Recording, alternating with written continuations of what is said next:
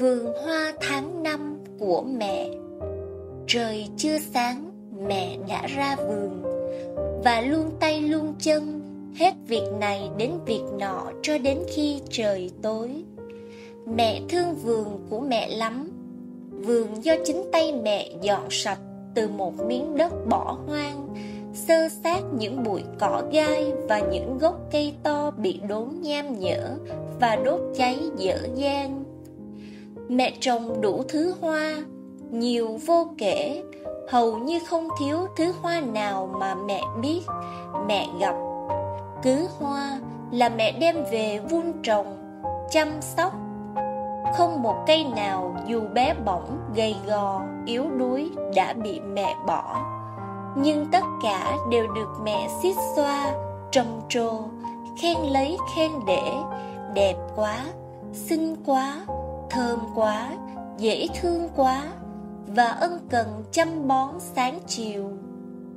Phải nhìn mẹ nhẹ nhàng tỉa từng nhánh cúc, cẩn thận rửa từng cánh hồng e ấp, nâng niu từng nụ quỳnh mới nở, rón rén đánh thức từng khóm huệ mới đơm bông, mới thấy tình mẹ dành cho vườn hoa, cho từng bụi hoa, từng cây hoa, từng cánh hoa lớn và sâu đậm thế nào.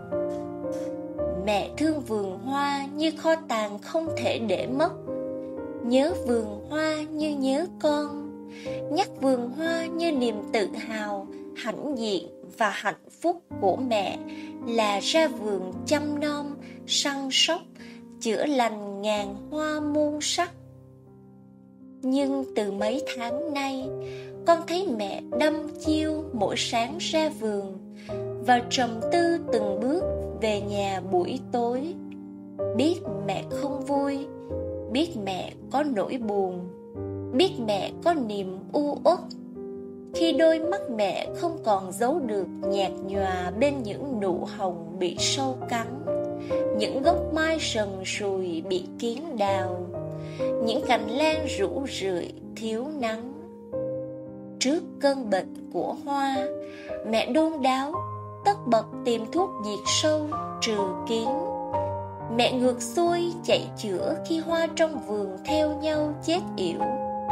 Mẹ lo lắng, bồn chồn trước nguy cơ vườn hoa bị kẻ gian phá hoại. Và mọi người thấy mắt mẹ quần thâm tóc mẹ điểm thêm nhiều sợi bạc. Riêng con, nghe được tiếng mẹ thở dài thương xót, vườn hoa quý giá của mẹ. Vườn hoa ấy là vườn hoa nhân loại, vườn hoa của đức maria mà mỗi người là những cây hoa, nhánh hoa, nụ hoa, đóa hoa muôn dáng muôn màu được tình yêu mẹ trên trời bao bọc chở che nâng niu chăm sóc tháng hoa năm nay vườn hoa tơi tả không chỉ vì một thứ virus có tên Covid, nhưng còn vì nhiều thứ dịch nguy hiểm tàn phá gấp ngàn lần khác. Những virus ích kỷ, kiêu căng, gian tham, ganh ghét, kèn cựa, đấu đá, những vi trùng bạo lực đến mức không còn lương tri và hoàn toàn cạn kiệt tình nhân loại. Những vi khuẩn nói xấu vu khống mạ lị chụp mũ không ngược miệng đến vô liêm sĩ bất nhân tàn nhẫn. Chưa kể đến những virus ngạo mạn phạm thượng xúc phạm đến đấng tạo dựng cả đã làm vườn hoa nhân loại của mẹ thành một bãi chiến trường đẫm máu. Một bệnh viện không còn giường nằm, một nhà xác khổng lồ, một nghĩa trang toàn những hố chôn tập thể. Tất cả đã làm co rúm niềm vui ban sớm của ngàn hoa khi nhoẻn miệng cười đón bình minh. Tất cả đã làm tê liệt tay chân khiến hoa không còn hồn nhiên múa nhảy dưới nắng xuân tất cả đã làm đau đớn thân xác để hoa không còn hứng thú vui đùa khoe sắc tỏa hương trong gió tất cả đã làm hoa hoảng hốt lo sợ bị bứng rễ, tiêu diệt, và cả vườn hoa của mẹ những tháng qua đã ủ dột, khép nhụy, co mình, buồn bã. Vì vườn hoa bị sâu bọ, côn trùng đủ loại tàn phá, như đàn con mẹ đang thống khổ, lo âu vì dịch bệnh Covid. Nên tháng hoa của mẹ năm nay, đoàn con không biết tìm đâu hoa đẹp, hoa tươi, hoa thơm ngát để dân mẹ như các tháng năm khác. Nhưng chưa kịp đi tìm, thì mẹ đã chỉ cho chúng con một vườn hoa khác, vườn hoa nhân loại mới vì muôn hoa tươi nở từ mão gai, đinh sắt, lưỡi đồng của cây thánh giá.